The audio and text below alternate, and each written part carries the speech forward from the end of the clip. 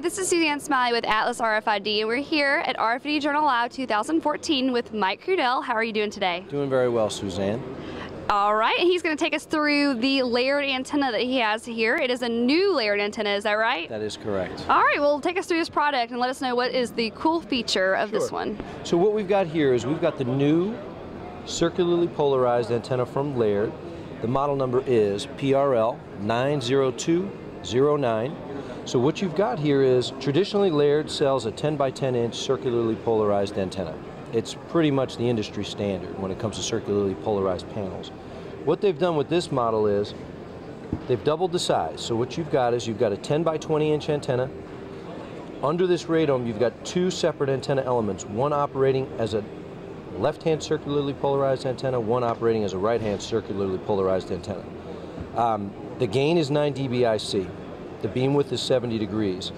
The beauty of this antenna is that it can operate, because it has two separate antenna elements under one radome with two separate connectors, this antenna can operate as two separate monostatic antennas under one radome, or it can operate as a bistatic antenna.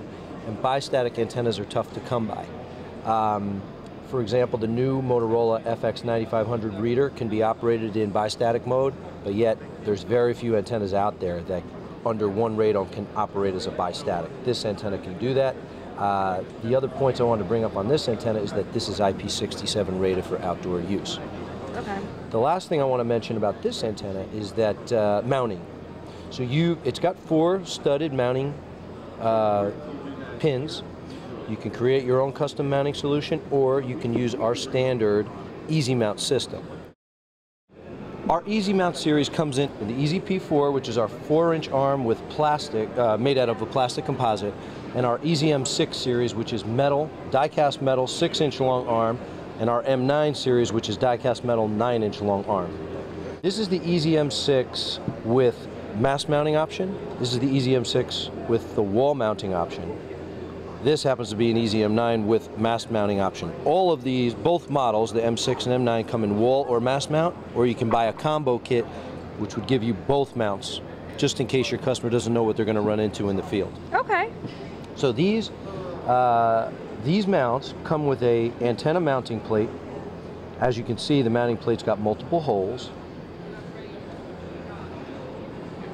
I'm going to show you how to mount this on a Laird 10 by 10 inch antenna. This would be the Laird S9028 antenna or the PAL 9029, PAR 9029, but there's also many different antennas from suppliers like MTI, Motorola, Impinj that this will fit Okay, great. because great. we've got all these hole options. So the biggest concern that we've got uh, when we send these out in the field is that people don't understand exactly how they're supposed to work. They see four mounting studs, they know this mount can't possibly fit on all four. Okay. So in our data sheet we specify this, but we thought the video would be the best way to get our point across that you've got to make sure you're using the right set of holes. So in this case, you're going to put the mount on diagonally, taking advantage of these two holes here in the in the antenna plate. You're going to use two hex nuts and a 7 16 socket or wrench to secure that down.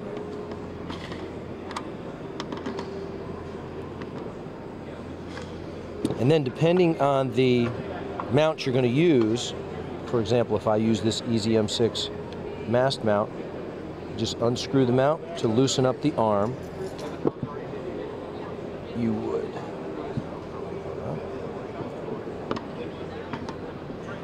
Affix the arm on the ball of the antenna plate. Screw it just enough to get it on there. Tighten that up.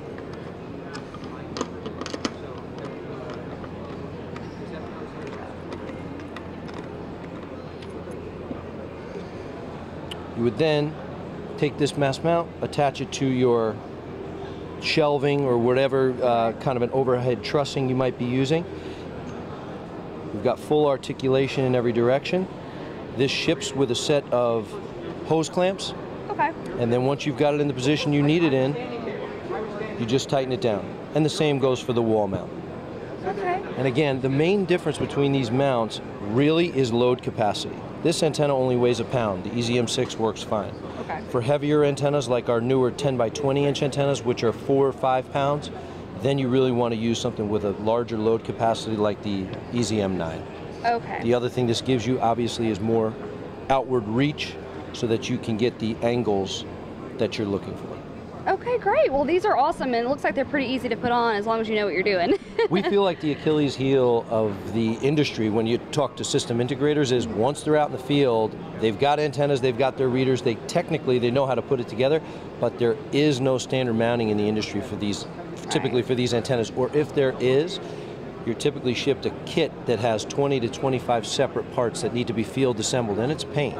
So here we've got a one-piece system that you can put affixed to the antenna and get it on the wall in three to five minutes. well, great. And, it, and if you're in the field, it lets you just get it on there and go. Gives which you is the what flexibility you, you need, absolutely. Okay, great. Well, thank you so much, Mike. Thanks for talking about us about. Thanks for talking about this. And any other last points you have on this mounting bracket? I just want to make it clear that uh, all of these products are available at Atlas RFID from stock. It's a real common item for us. That's it. We look forward to having some people try them out. Well, thank you so much for that shout out. We appreciate you letting us interview and see all the new parts that you brought to the show. Have a great show, and we'll see you later. Thank you very much. We appreciate it.